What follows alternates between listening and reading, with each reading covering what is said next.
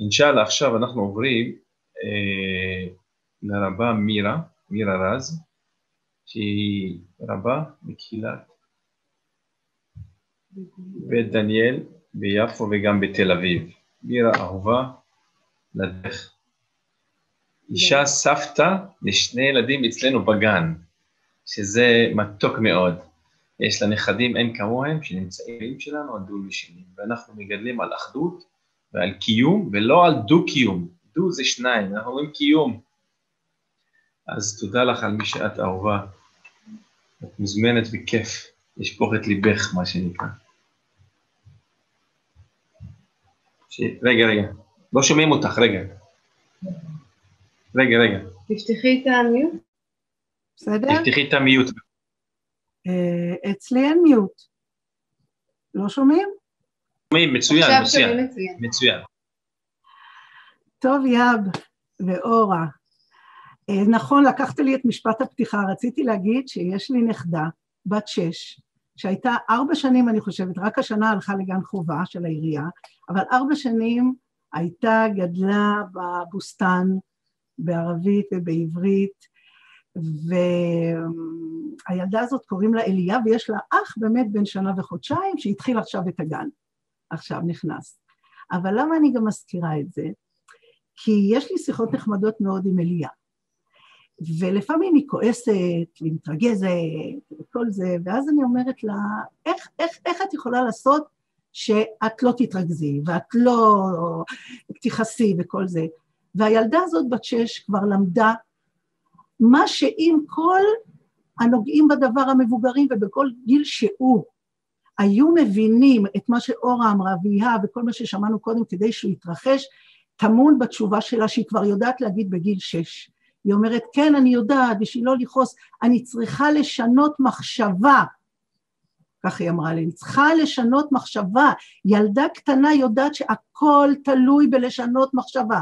אנחנו יכולים להגיד דברים נורא יפים, בואו, אל תזה, ואורה אמר דברים נהדרים, אבל יש פה מחשבה שאם לא משנים אותה, ואם לא רוצים לשנות אותה גם בכלל, לא יתקדם שום דבר. ואני אומרת לאליה, תשמעי, את מכירה את הסיפור על אליעזר והגזר, ויש כל מיני תמונות נורא יפות כאלה עם גזר ענק כזה, איך כולם שורה שורה שורה מנסים למשוך אותו ולעקור אותו, לעקור אותו, ועד שבסוף הוא יוצא. לעקור מחשבה זה משהו דומה, זה אפילו עוד יותר קשה. כי לשנות מחשבה ולשים מחשבה אחרת במקומה, זה הדבר הכי קשה בעולם. כל דבר אחר אנחנו רואים גם מה קורה עכשיו, לוקחים כמות כזאת של חומר נפץ, מעיפים איפה שרוצים, הכל מתפוצץ, יופי.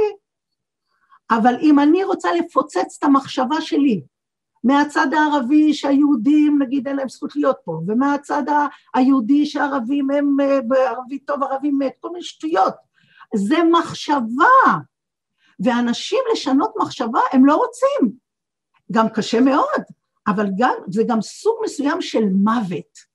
הנה יהב, מה שאתה סיפרת, באיזה משפחה גדלת ואיפה אתה היום, אתה כאילו המטת את היהב שהיה. מי, מי מוכן לעשות כזה דבר? יחידי סגולה מדהימים כמוך. כשאתה אומר, כשאתה אומר, שאני תמיד אהבתי, דיברת על אהבה, אמרת, אהבה, אה, אין דרך לאהבה, אהבה היא הדרך. עכשיו אתה, כתבנו את זה על השלום. אין דרך לשלום, השלום הוא הדרך. מה זה הדרך? זה המחשבה, מה זה השלום? זה מחשבה. אם אני רוצה להגיד שהלא האהבה אה, היא הדרך, אלא, זאת אומרת שלא הדרך, שאין דרך לאהבה, אלא האהבה היא הדרך, אז צריכה להיות מפה מחשבה של אהבה שהיא תוביל אותי בדרך הזאת, כי המחשבות יוצרות לנו את הדרך בחיים.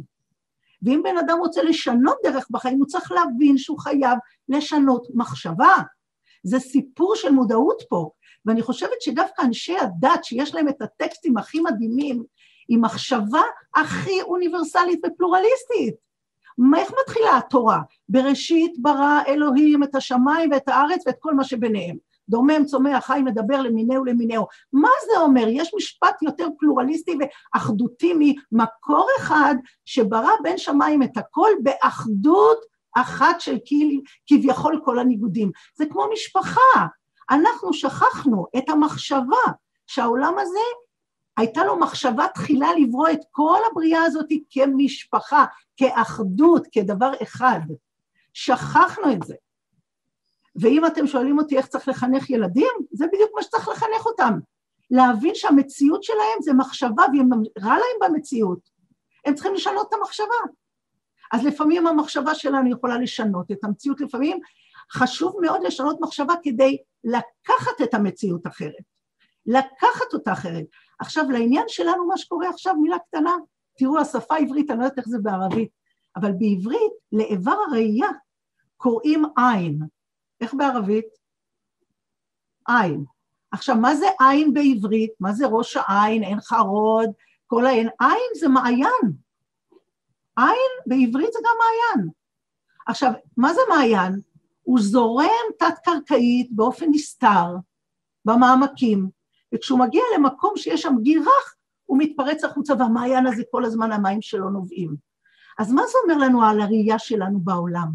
זה אורה דיברה על רגשות והכול, אנחנו הרבה פעמים מסתכלים על העולם, יש עוולות ויש ככה ויש ככה ואנחנו קוראים כל כך הרבה על הרע ועל האי צדק ועל הזה, ואז אנחנו מבחוץ מפנימים פנימה את העולם, זה העולם, כזה העולם, רע ולא טוב וכזה. אבל השפה אומרת לנו, והשפה מהבורא, היא אומרת לנו, תסתכלו על העולם לפי איך שאתם מרגישים בפנים. אורה דיברה על הלידה. אנחנו מרגישים אהבה כשבחוץ לא מפריע לנו.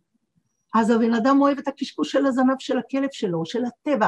אנחנו, אם נסתכל על העולם ממה שאנחנו מרגישים בתוכנו, שאנחנו מנותקים מהרע הזה ומהסבל, ונדע שיש שיש אהבה בעולם ויש אחדות בעולם ואנחנו חווים את זה בקטנה בכל מיני דברים, אבל את זה אנחנו צריכים כמו העין להוציא את ההסתכלות על העולם מבפנים החוצה ואז להגיד מה שאנחנו רואים זה חלק מהעולם אבל האמת של העולם, הדבר הנצחי של העולם זה מה שאני מרגישה בפנים כמו שאמרת אורה שאני רואה את התינוק המתוק שלי שנולד או שאני רואה דברים שמרחיבים את הלב שלי ומוציאים אותי מה, מעצמי, עושים את. את אותי לחלק ממשהו גדול יותר. זאת האמת של הקיום שלנו, מבפנים החוצה ולא לוותר. ומירה עווד אמרה קודם, היא, היא כן מאמינה, היא לא מאמינה, אולי ככה, אולי ככה, אני רוצה להגיד לכם שאמונה, זה חלק מחינוך בעיניי, אמונה, המילה, האותיות הראשונות זה אם, זה אימא, אם. אמונה זה כמו אם, למה? למה? כי כל בן אדם שמסתובב בעולם, ברור שיצא מאיזה רחם. גם אם הוא לא מכיר את אמא שלו בכלל, אבל אם הוא פה, יש רחם. אותו דבר זה אמונה. זה צריך להיות טבעי. זה ברור שאנחנו קודם כל יודעים לעשות את האחד הזה. הנה ככה, אתם רואים כמו שני הנרות האלה. אנחנו ככה יכולים לעשות, פה יכול להיות פירוט ושני נרות שונים לגמרי, הם בכלל משהו אחר. פה, אבל יש אנשים שחיים ככה. וזה עניין של מחשבה. יש כאלה שאפילו חיים עוד יותר, וכזה חושך, תראו למטה. כמה שאנחנו, זה הנפש, כמה שיותר אנחנו עולים לנשמה. זה חינוך.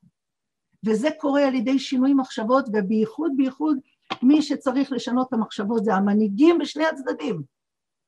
בשני הצדדים צריכים לקחת אותם לסדנאות של מודעות, את כולם, מכל הזרם ומכל איזה... ואני רוצה לקרוא לכם לסיום. יש לי עוד הרבה מה להגיד, אבל נעצור פה, שיר שכתב משורר ערבי טאה מוחמד עלי, שאני מכירה עוד שירים שלו. תראו מה הוא אומר: לאחר מותנו, כאשר הלב התשוש מוריד את מסכי ריסיו האחרונים על כל מעשינו, על כל מאוויינו, ועל כל אשר היה בחלומנו, רצונותינו, תחושותינו, השנאה תהיה הדבר הראשון אשר ירקב בתוכנו. אז אין דרך לאהבה ולשלום. האהבה והשלום הוא הדרך. תודה.